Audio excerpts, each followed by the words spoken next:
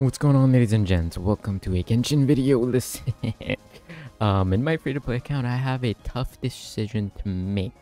But I had to make this video. So as you guys know, Arataki Itto is coming in very soon. In about, you know, two weeks.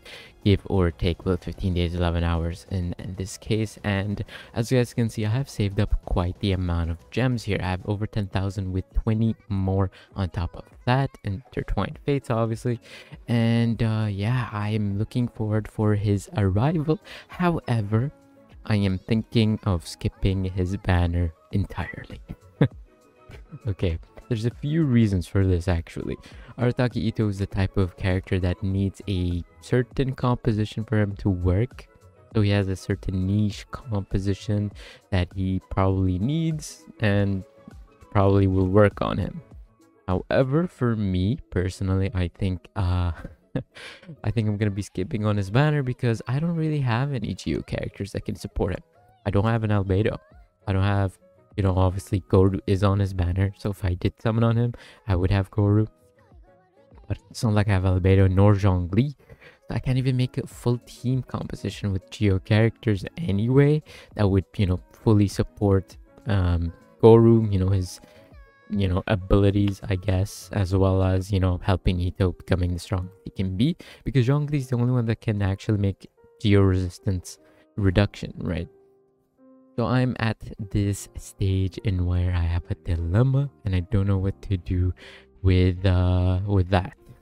so I might skip uh, Arataki Itto entirely because my team just doesn't fit that. As you guys can see, my team composition, well, I have to press C here. My team composition consists of this, you know, Tartaglia, Kazuha, Xiangling, as well as Yoimiya with Xingqiu, Rosaria. You know, I have no space for any Geo characters here.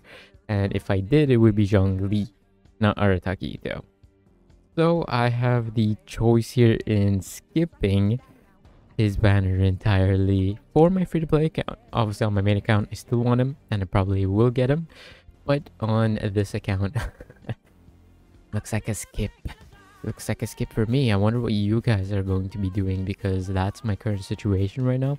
I think I am going to be skipping his banner. Now, Shenhe, Shenhe I'm pretty interested in, and I wonder if she will bring any value to my team specifically. I want to see how she works with Xiangling. I want to see how she works with Tartaglia. Maybe she's an insane, like, freeze applier. No idea. But I am certainly interested to see what happens there.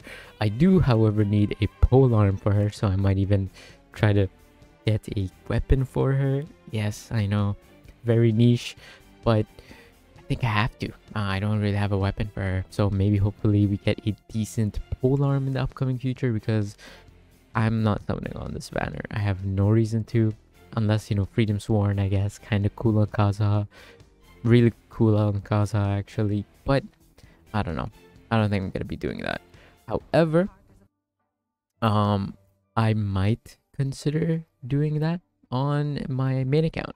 So yeah, let me know what you guys think, what you guys want to see me do because I'm at a certain standpoint here. Obviously, I don't really have an Albedo, I don't have Zhongli. So it would make the most sense if I actually skip Arataki Itto for my current situation.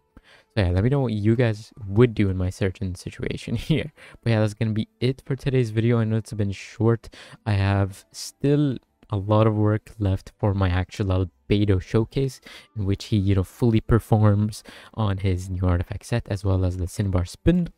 So you guys are gonna have to wait a little longer for that one but yeah. Thank you guys so much for watching. Hopefully you guys did enjoy. If you did consider liking this video subscribing to the channel as well.